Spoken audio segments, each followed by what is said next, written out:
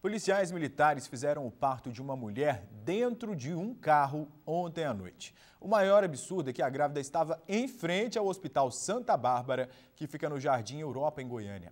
Segundo a polícia, eles tiveram que fazer o parto depois que funcionários do hospital se negaram a atender a paciente. Isso porque ela não tinha plano de saúde conveniado ao hospital.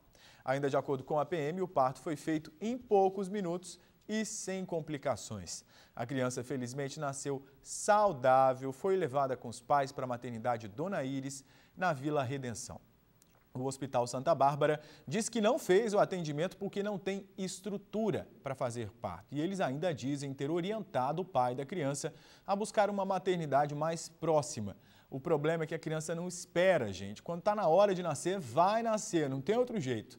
E aí, como o hospital negou o atendimento, o bebê nasceu onde? Na porta, dentro de um carro. Isso também é omissão de socorro. Se o hospital não tinha estrutura para fazer o parto, imagina um carro.